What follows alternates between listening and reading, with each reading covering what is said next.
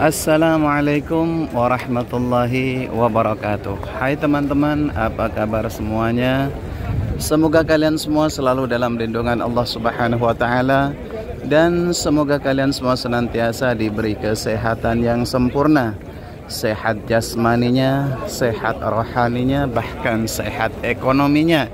Amin amin ya mujibas. Nah, teman-teman seperti biasa saya ingin selalu berbagi kepada kalian karena banyaknya apa ya pertanyaan dan permintaan di kolom komentar. Kebetulan kemarin itu ada request dari beberapa jemaah yang pernah saya bawa, yang saya pernah saya damping itu untuk uh, dispil atau ditunjukkan pusat perbelanjaan yang jauh lebih murah dibandingkan tempat-tempat yang lain. Nah, insya Allah kali ini saya akan menunjukkan teman-teman yang dekat dengan Masjidil Haram ya.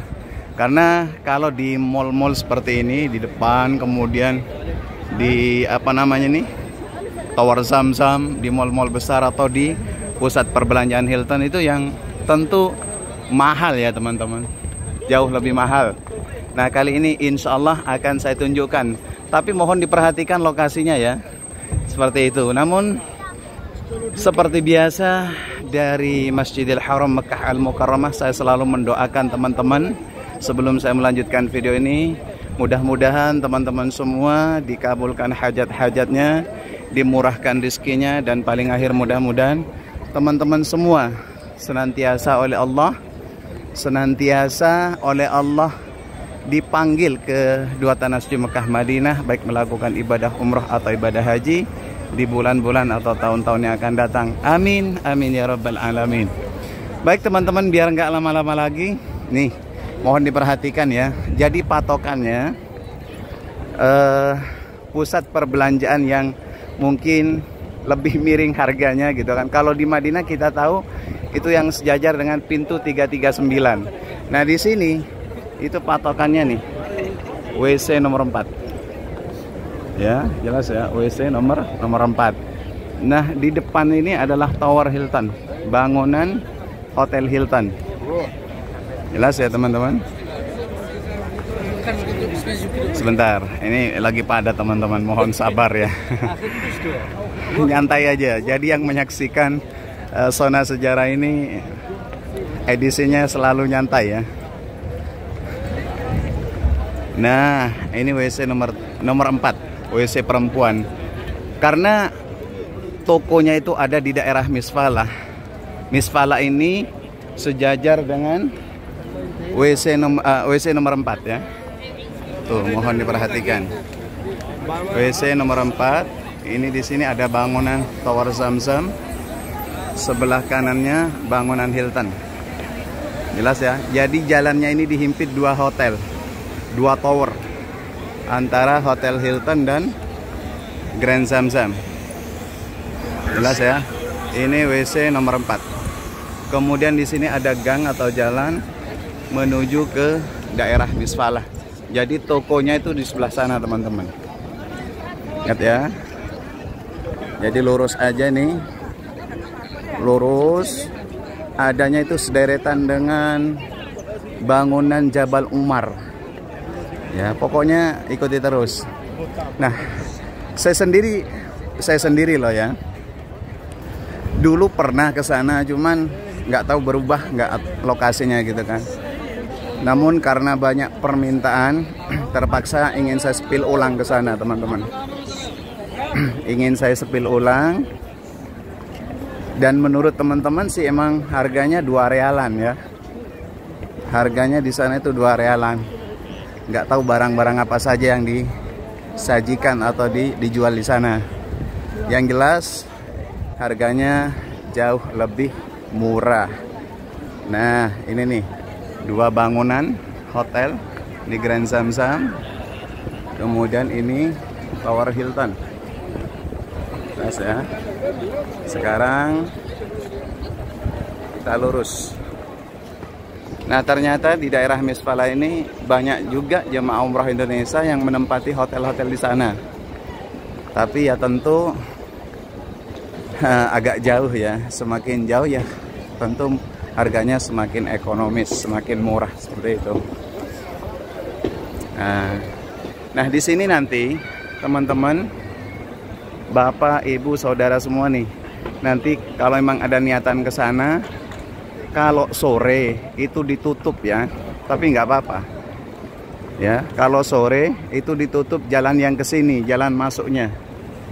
Jelas ya, jalan masuknya ditutup untuk yang ke Masjidil Haram karena ini udah mepet dengan waktu maghrib. Nah, jadi kalau mau ke sana jangan terlalu sore. Ya agak siang-siang dikit gitu kan, habis asar langsung atau mungkin pagi setelah sarapan jam 8 atau jam 9 ya nah ini teman-teman nanti akan melihat bangunan di sebelah kiri ini Swiss Al Makom, Swiss Hotel Al Makom. Kemudian kemudian ini jalan layang. Jembatan layang ya. Jembatan layang di sini. Oke, lurus ya. Pokoknya tolong terus diperhatikan aja biar teman-teman nanti nggak gagal paham. Sekaligus biar mengetahui lokasi perhotelan jemaah umroh yang ada di daerah Misfalah. Nah, tuh ditutup kan kalau mal sore. Tapi kalau habis sisa dibuka nih teman-teman. Nah, sekarang Masya Allah Tabarakallah teman-teman. Untuk bangunan-bangunan yang ada di dekat Masjidil Haram ini seperti bangunan Jabal Umar ini luar biasa ya. Yang dulu berupa daerah yang mungkin kumuh daerah yang sangat kotor menurut saya karena saya tahun 2001 udah masuk Mekah.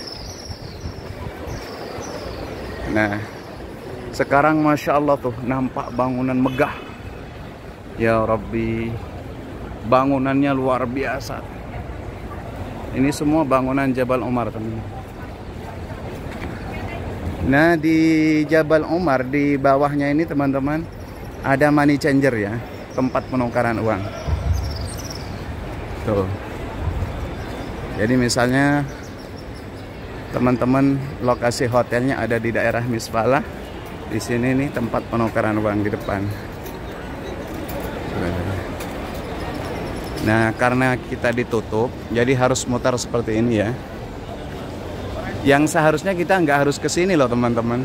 Jadi langsung lurus, tapi nggak apa-apa supaya teman-teman paham.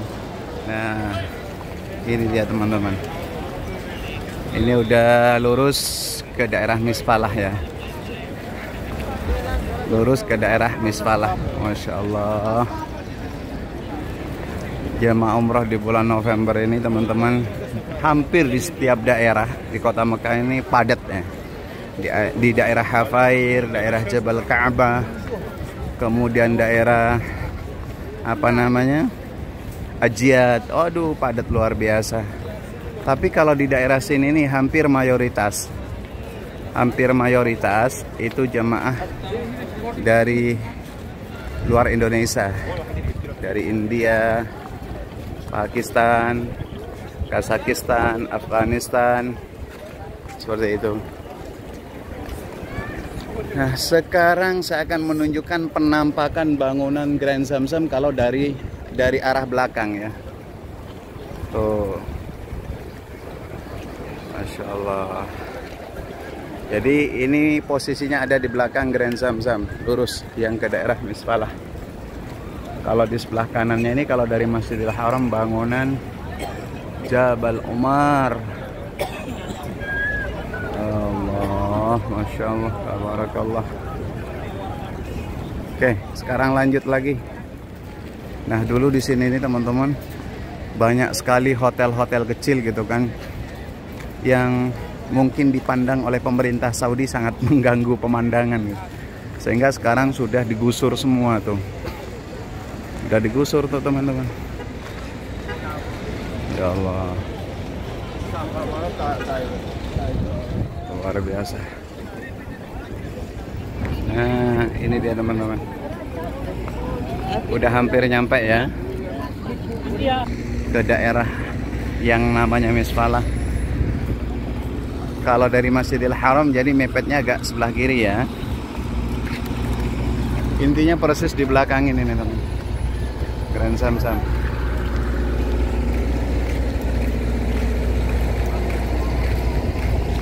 jadi biar teman-teman nggak penasaran kalau di Madinah kita tahu yang harga dua realan itu yang sejajar dengan pintu 339 tapi kalau di sini beda lagi. Nah tuh. Tapi ini agak sore teman-teman. Udah hampir maghrib mudah-mudahan. Mudah-mudahan tidak ditutup ya teman-teman. Ya anggap aja teman-teman itu cari pengalaman selama di sini. Gitulah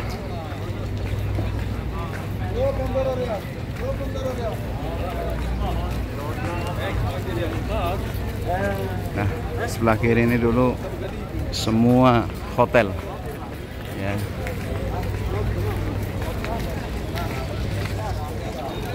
Nah ini dia sudah masuk ke harga dua realan. Ya. Nih di sebelah kanan. Jelas ya teman-teman? Jadi tuh dua realan tuh. Masya Allah jadi jelas ya teman-teman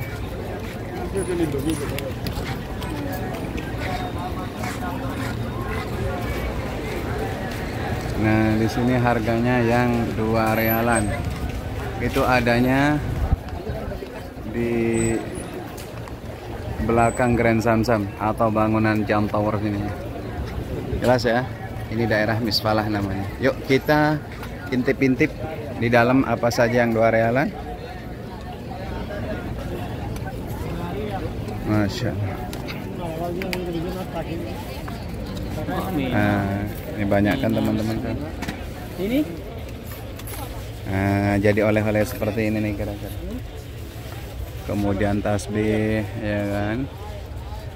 Dua rial. Nah, Puluh dua rial ya. Nah, gantungan kunci. Tapi nggak tahu kalau yang itu bukan dua realan ya. Nah. Oh, mungkin berbeda ya teman-teman harganya. Nah, kira-kira seperti ini nih. Ini kondisi tokonya ya.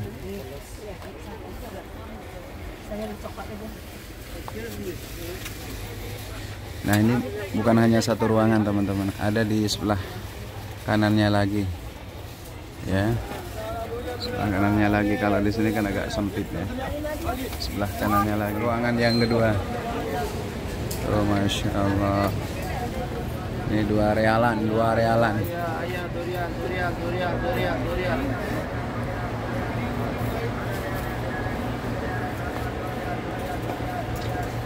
Dua realan teman-teman. Dua rial semua dua. Tuh, dua realan. Lihat dulu murah-murah. Murah-murah. Ah.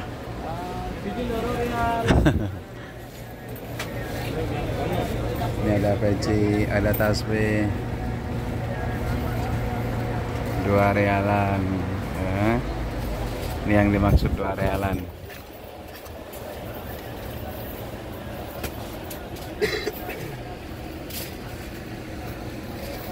Mungkin ada di antara teman-teman yang pengen oleh-oleh seperti ini nih. Kan bagus ya teman-teman. Ini dua realan kalau di sini ya. Nah, seperti ini nih. Dua realan.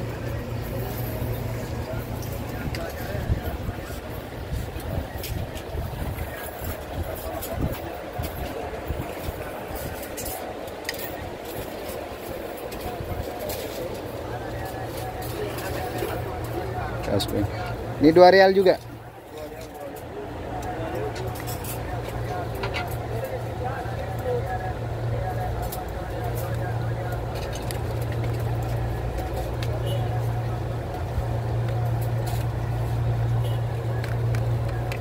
Ini tasbih dua realan. Kemudian ini dua realan juga. Ini bolak boleh. Ini satu. Video. Ya. Ini satu. Ini satu dua rial. Counter tasbih. Masya Yang bagus. Ini. Ini satu lagi. Ini dua lagi. Sudah. Inilah nah. Ini lagi-lagi Enggak, boleh. itu aja. Dua, Ini dua biji. dua biji. Dua biji lah. Plastik, plastik. Plastik ada ini cek dulu semua dua rial. Oke. Ini cincin, Masya cincin Masya lagi-lagi tidak lentur lima tahun. Ini semua dua rial, satu dua rial, dua rial, Dari mana? dua rial. Mana? Ya. Bangladesh. Bangladesh. Bangladesh. Sini Indonesia. Indonesia.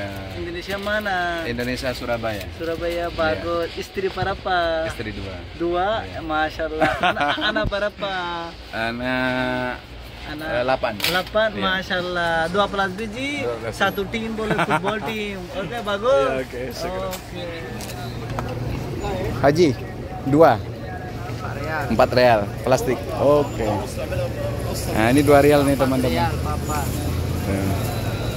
Dua real ya. Loro. Kilo. Oke.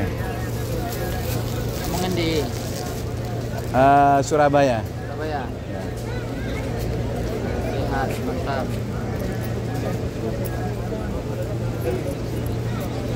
Matur nuwun. Oke, ini ya teman-teman. Tokonya ada di sini nih. Masya Allah. Oke, itu saja mungkin teman-teman yang dapat saya informasikan terkait dengan pusat perbelanjaan yang mungkin lebih miring dikit gitu kan, lebih murah sedikit dibandingkan yang ada di Grand Zamzam. Ya. Jadi tasbih seperti ini aja dua rialan ya. Ya, sebelum saya akhiri seperti biasa, saya mendoakan teman-teman semua mudah-mudahan teman-teman yang menyaksikan video ini yang selalu nge-share video ini saya doakan mudah-mudahan selalu dan selalu mendapat panggilan dari Allah bisa datang dan berziarah ke dua tanah suci Mekah Madinah baik melakukan ibadah umrah atau ibadah haji dengan predikat haji yang mabrur umrah yang makbul. Amin amin ya rabbal alamin. Akhiran wabillahi taufiq wal hidayah wabirridha wal inayah. Wassalamualaikum warahmatullahi wabarakatuh